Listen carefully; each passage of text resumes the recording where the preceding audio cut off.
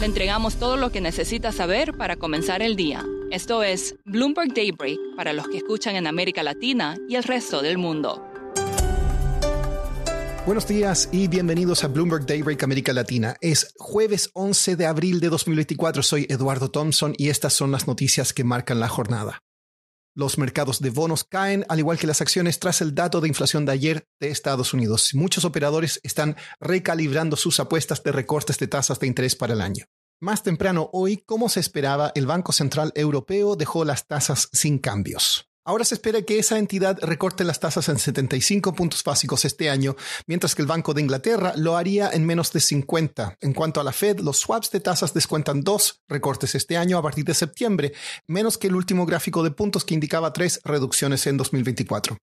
En Japón continúa la especulación de una posible intervención del yen. Durante la noche se depreció pasado los 153 por dólar para luego estabilizarse. Economistas dicen que podría ocurrir en cualquier momento. En Estados Unidos, según fuentes, el Departamento de Justicia investigará la oferta de Nippon Steel por US Steel. Ayer el presidente Joe Biden dijo que apoya a los trabajadores de la siderúrgica US Steel que se oponen a la venta de la empresa. En China, los precios al consumidor se ralentizaron en marzo al 0,1% por debajo de las estimaciones. Los precios al productor cayeron por décimo octavo mes consecutivo. Pasando a América Latina, hoy habrá decisión de tasas del Banco Central de Reserva del Perú. El consenso es que mantendría las tasas sin cambios por segunda reunión consecutiva en 6,25%. El banco había recortado las tasas durante seis meses consecutivos antes de hacer una pausa en marzo, después de que la inflación se acelerara en febrero. El presidente de Colombia, Gustavo Petro, se reunió con el candidato presidencial de la oposición venezolana, Manuel Rosales, durante una visita relámpago a Caracas. Petro buscaría posicionarse como mediador entre la oposición y el gobierno de Nicolás Maduro. En México, el diario Reforma informó que la Comisión de Energía de la Cámara de Diputados aceptó una propuesta del gobierno para cambiar la constitución con el fin de dar a la estatal Comisión Federal de Electricidad preferencia en la generación y transmisión sobre las empresas privadas. Volviendo a Venezuela, esta semana supimos de la caída en desgracia de un antiguo aliado y confidente de Nicolás Maduro, Tarek El Aizami. Fue arrestado y acusado de buscar desestabilizar la economía del país. Patricia Laya es la jefa de cobertura de temas de Colombia y Venezuela para Bloomberg News, y acá nos explica más detalles del caso. Tarek El fue más recientemente el ministro de Petróleo y también de Economía de Venezuela.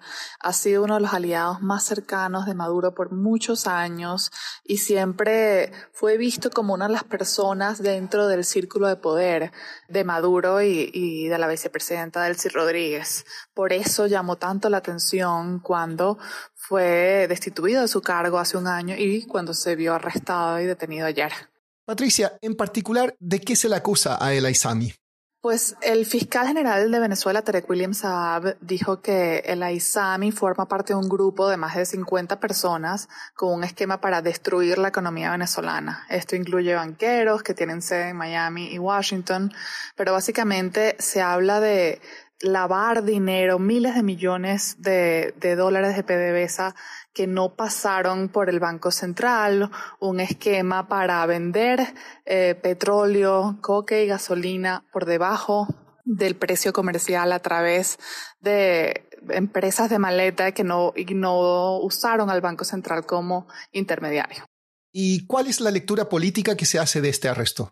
Pues por supuesto, todo esto es especulación porque no sabemos por qué está ocurriendo justo en este momento. Sabemos que es un momento crucial para Maduro que se enfrenta a elecciones presidenciales en julio, que está buscando ganar un tercer mandato consecutivo, pero por supuesto es un mensaje muy fuerte por parte de Maduro de que no importa tu cargo, no importa tu nivel, igual enfrentarás la justicia si haces cosas que, que no son de su gusto o, tomas medidas ilegales o te aprovechas de, de tu influencia y tu poder dentro dentro del gobierno. Eso es una manera de verlo.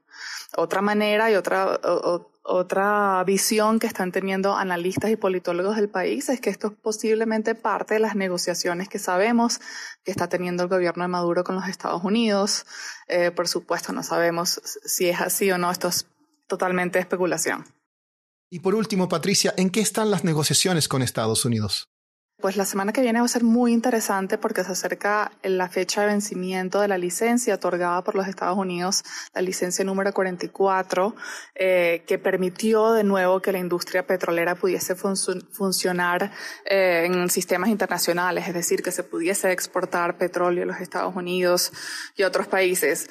Queda ver si esa licencia va a ser extendida o si en efecto se vencerá la semana que viene. Se están evaluando múltiples escenarios que puede ser que la extiendan hasta la fecha de las elecciones, que puede ser que la dejen vencer y otorguen permisos específicos para empresas como los que tiene Chevron, por ejemplo, que la permite operar en el país.